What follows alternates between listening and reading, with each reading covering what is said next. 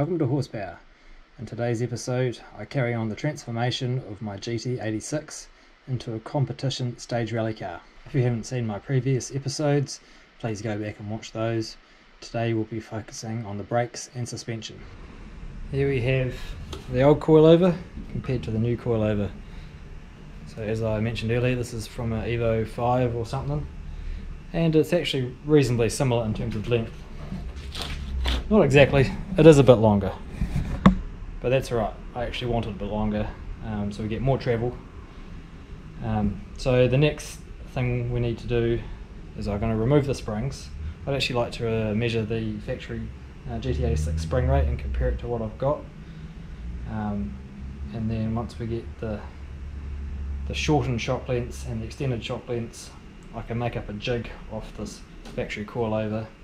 And then what we'll do is we'll lop these bits off and I'll place plasma cut some new ones and we'll weld them on. Um, so the idea is is that it'll sit probably roughly the same ride height as the factory car, maybe a touch higher, but have a lot more um, droop travel, which will be quite handy for rallying. Um, the factory car doesn't have a lot of travel, so it is something that needs to be improved for taking it off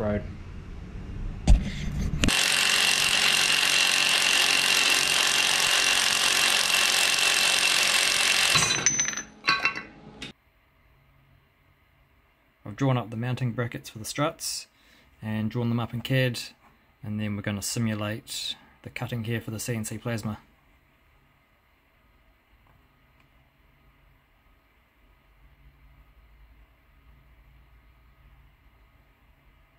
Looks good to me.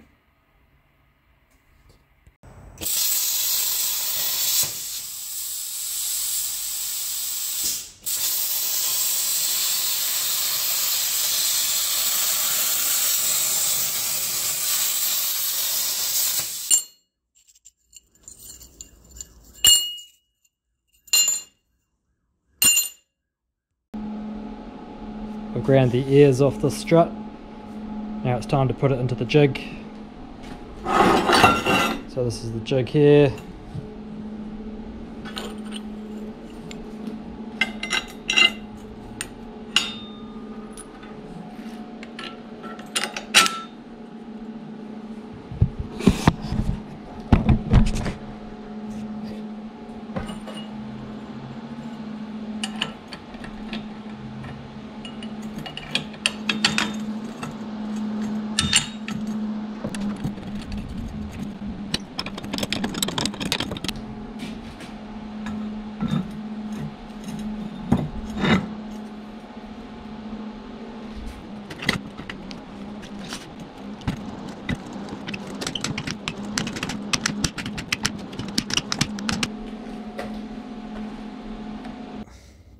I've installed the coil over here without the spring.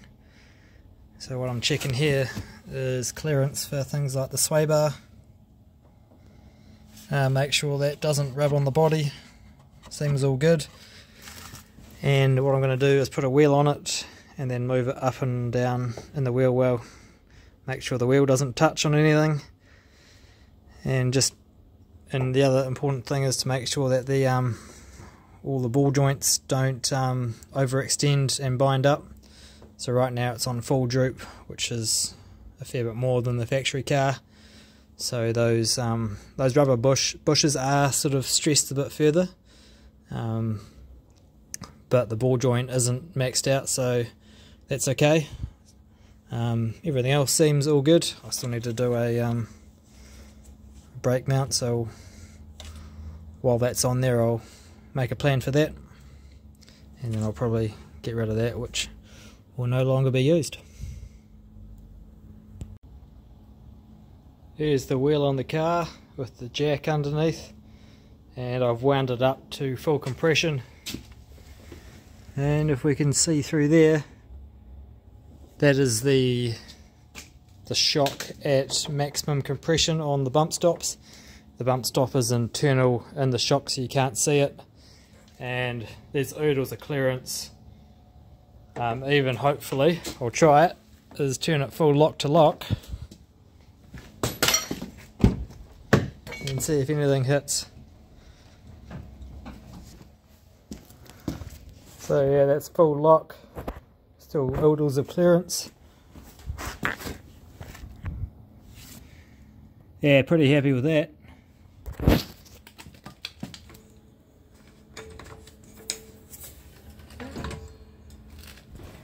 So you can see how much travel we got there. A Fair bit more than factory.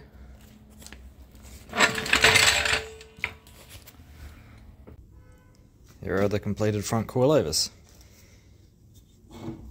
So these mounts are all welded on and also a anti-roll bar mount and a brake hose mount. And I'm using the factory top hats for now. They should be pretty reliable and basically with the time I've got they were just the easiest to make work. Interesting note about these springs is that they're a non-linear spring, so they're like a beehive shape, so they're quite soft at the at the top and the bottom, and then um, sort of a lot firmer in the middle. So this will, I'm not entirely sure what the idea is, whether they're sort of uh, a keeper spring or more of a dual rate, so you'll you'll use the softer spring under sort of softer loads and then compress the, the firmer spring with more load. Not too sure. Also, I don't know if the spring rate's going to be suitable um, for the weight of the car. So these are designed for an Evo, which which are a bit heavier than the wee GT86. Um, my car will end up a bit heavier in the front when I put the, the bigger H6 engine in it. Um, so we'll see how they go. They might be right they might not be perfect. Um, so that's something to play around with um, in the future. Um, so what I've left to do now, as you can see here, is going to mask them off and give the base a paint so they don't rust up. And then they can go into the car.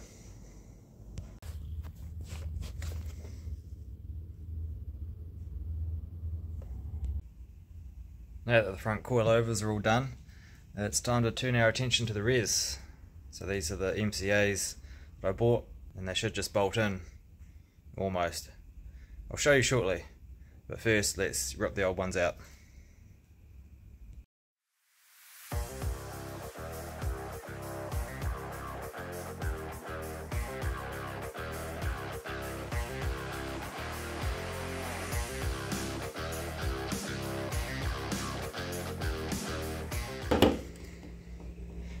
Now that I've ripped out the factory coilover, we can compare them with the brand new MCAs that I bought. So to start off with, they are slightly longer, which is to be expected, more droop travel, and we can see these funny looking top hats that they've got.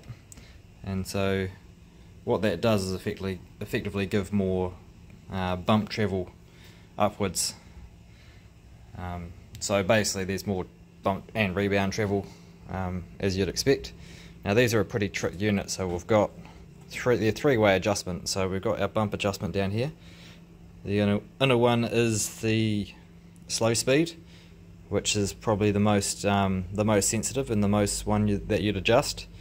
Um, so if, if, you're not aware of how you adjust shocks and how they work, the slow speed is the, the cornering, and when it comes to speed, it's the speed of the um, the shock or the damper rather than the speed of the car. So when you're turning a corner, and doing driver inputs that's um, slow speed.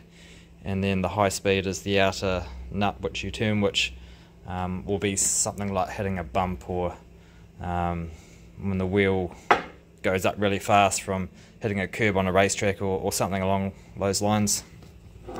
And then at the top here we have the rebound adjustment which is the 3mm Allen key and so there's a lot to play around with there and to be honest, I'm I'm not the expert in, in adjusting these things. Um, I'll probably go with um, the settings that MCA recommend um, as a good starting point. So they give you all this helpful helpful data to help set, set them up, which is pretty cool. And the only reason they won't bolt in, they're very close, is due to these big top hats here for extra travel. So I've just got to enlarge the hole in the top of the car.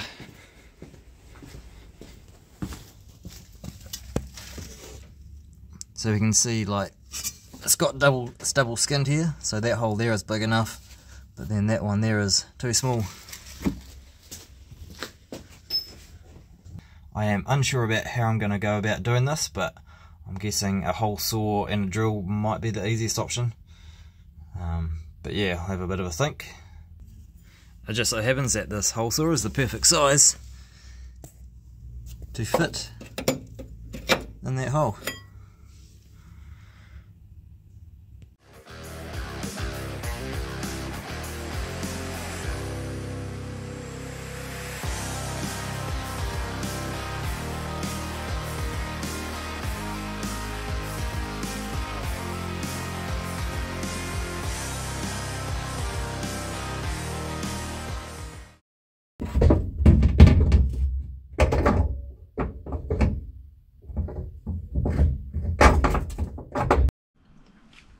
Because I've used a spacer behind the front wheel I want to even it out and put a spacer behind the back wheel.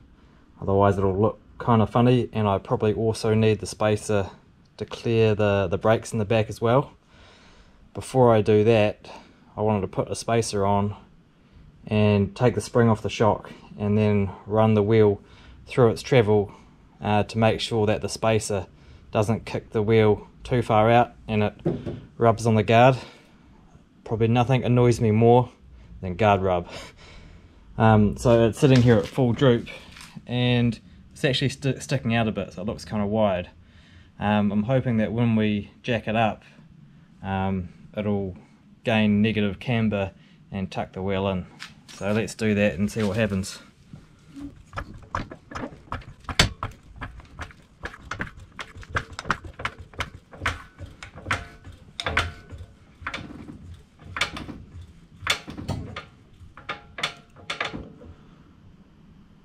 Alright, so that wheel is now fully bottomed out, full compression.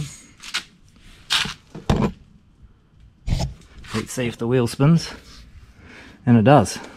So that's pretty sweet. There is oodles of clearance. That sits reasonably nice and flush. That's with a 25mm spacer. So that really couldn't have worked out much better. We did, I did just notice from jacking it up. Is that there is a lot of toe change or bump steer depending on what you want to call it. So as the wheel go through goes through its travel it either toes in or toes out. And they are well known for doing this. That might be something I need to look at uh, in a later date. Um, I'm not surprised because when you look at the um, the geometry arrangement and you see the back arm is way longer than the front arm, then you you know that the wheel's not going to stay perfectly straight as it goes through its travel. Um, and the other thing is that there's a lot of camber change as well, and that may not be something we want on gravel. We probably want a little bit, um, but this is maybe too much. I can show you the um, the amount of bump steer as the wheel drops down.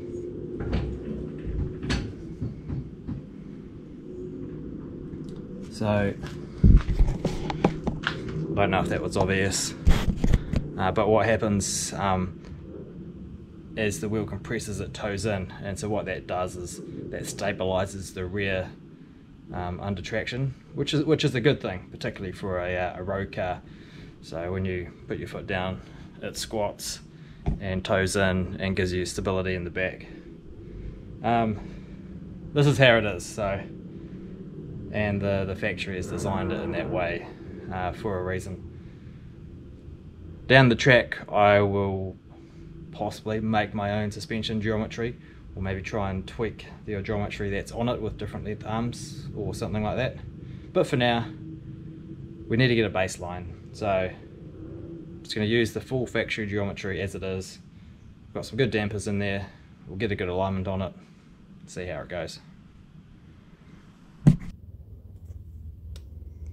That's the coil over all installed. Looking like a proper rally shock. everything bolts up nicely everything clears the only thing I had to do was bend the brake hose bracket um, because there's more travel in the stamper it droops down more and it pulled on this a bit too much so I just had to bend that one up a little bit so that was easy enough and I'll probably delete all of that crap. So all in all pretty happy. Um, let's hope they perform. In terms of the ride height I've just set it at that for now and then I'll set it down on its wheels at some point and we'll no doubt have to change it.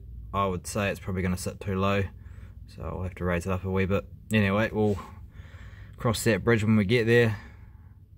And as well as as well as the front ones being in.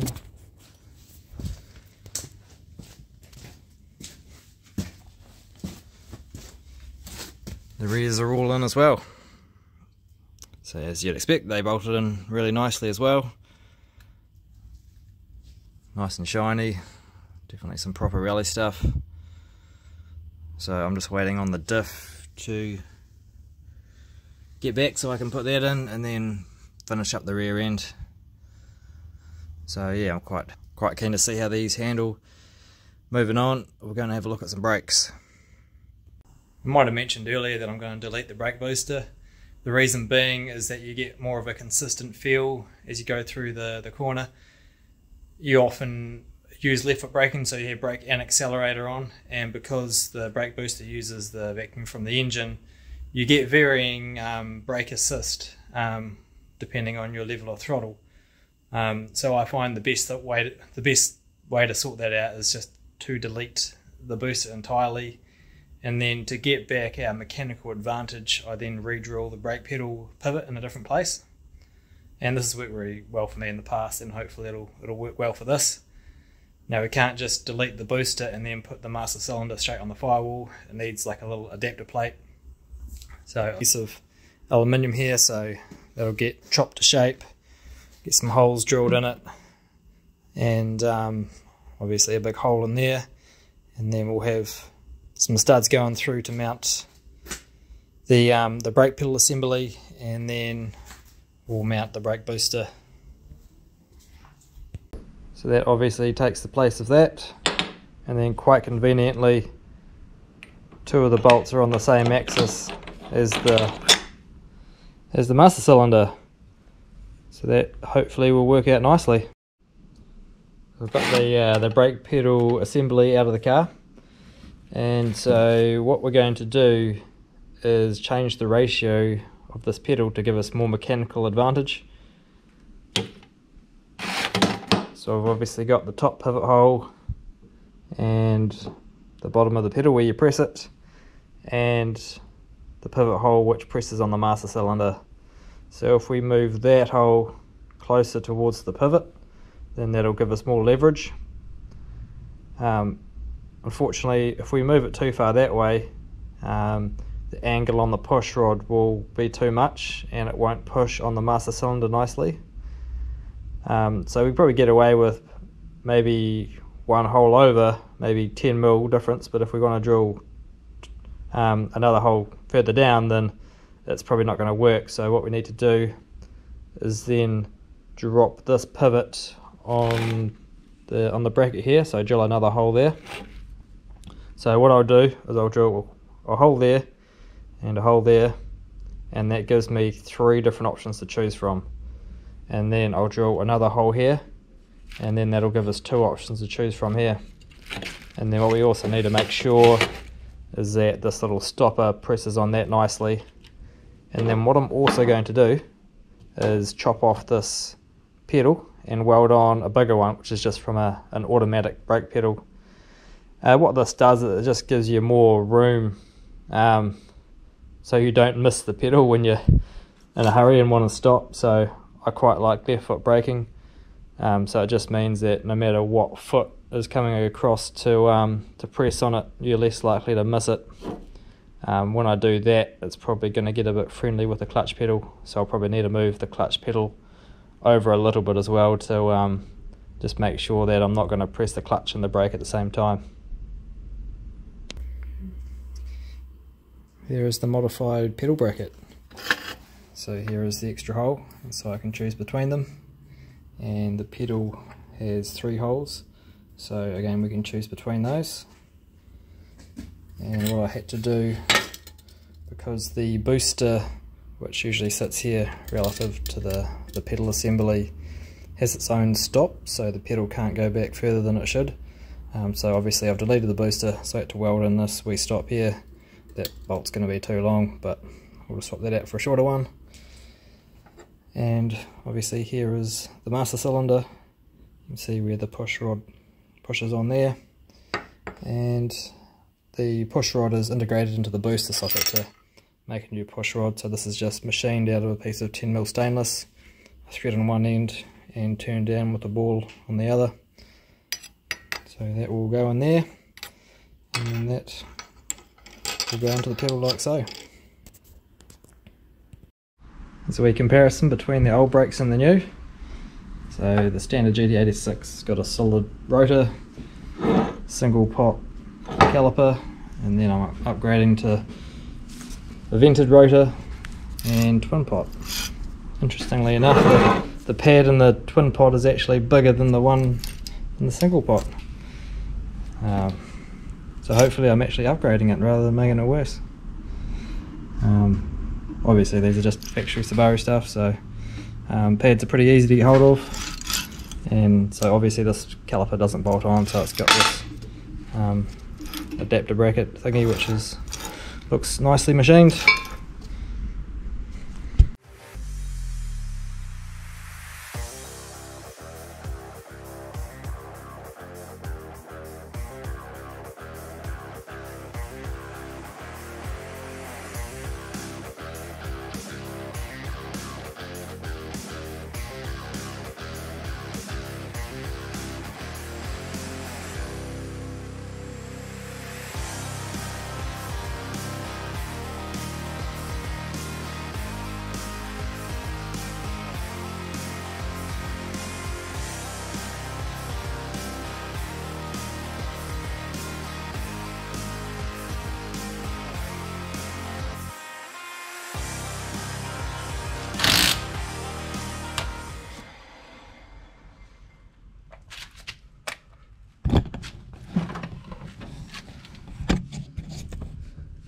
Good news, it does clear the brakes. There's actually reasonably healthy clearance through there. So these wheels here, I also run on the Celica. So I'm trying to use the same wheels rather than go out and buy several other brand new sets of wheels.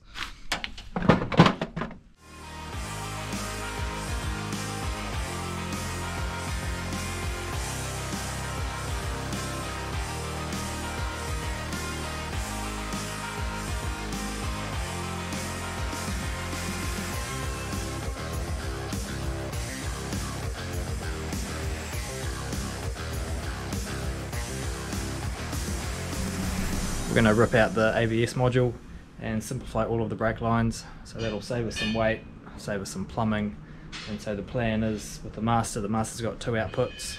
And so one output will go to the front brakes, it'll tee off and the other one will go to the rear and that'll go through the firewall to the brake bias adjuster then to the handbrake then down to the back then tee off to the brakes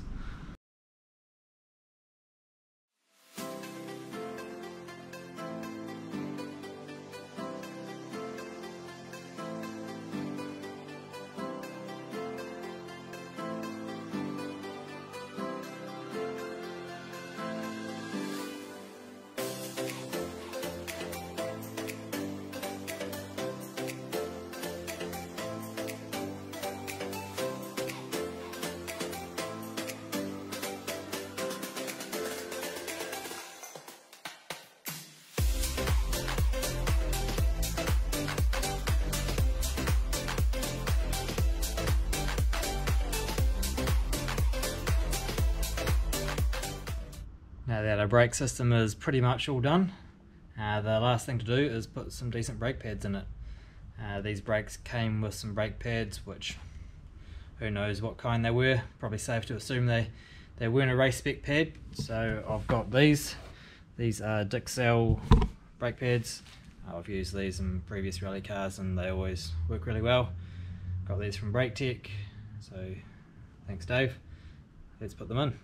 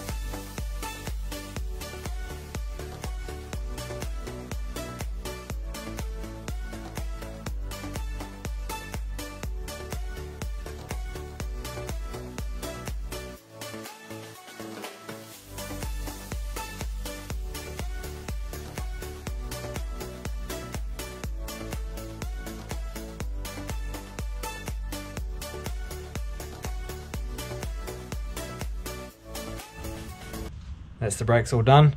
I've bled them. There appears to be no leaks, so hopefully they go well. Basically, the entire system has changed, so there's gonna might be a bit of testing to to get it perfect. Uh, what I've also done is put on the spacers for good. Uh, I had a bit of a conundrum about what spacers to use. So obviously this is um, like a Subaru chassis, so they use Subaru hubs. So you could easily get Subaru spacers which um, which bolt straight on and have the right centre bore. Unfortunately um, this centre bore here uh, won't fit all of my wheels that I use on the Celica which is a slightly smaller Toyota centre bore which is 54 and the Subaru's 56. So I want to use all of my existing wheels. I thought it would make sense to use a Toyota spacer machine out the inside to fit over the the factory centre bore and then I can use both Subaru and Toyota wheels um, with this centre bore here. And so um, unfortunately that does change well fortunately or unfortunately depending on how you look at it the stud pattern um, so these Toyota spacers come with Toyota um, studs which is a 1.5 mil pitch. Um, so it just means that I just need to use Toyota wheel nuts on it um, the problem is if I ever need to take off the spacer to fit a different size wheel, there'll be a bit of faff and around with wheel nuts and stuff. The other option is to actually just change these studs and press these out and replace them with Subaru ones, which is a bit of mucking around as well. Um, but for now, um, basically I'm hoping that these spacers never need to come off and they will just use all of my current wheels that fit my Celica and got some brand new uh, wheel nuts to suit that 1.5mm thread pitch. We have the diff back from the diff shop. It looks really nice. They've done a really sweet job. It's all been sandblasted and painted. And the front pulley all nicely cleaned up. Brand new seals. Virtually a brand new unit. Obviously, uh, brand new crown wheel pinion. Um, 4.5 ratio um, so hopefully it is a good thing. Uh, let's put it in the car and get this rear end all wrapped up. That concludes this episode. Uh, in the next one we will finish up the car and test it on gravel. Thanks very much for watching and we'll see you then.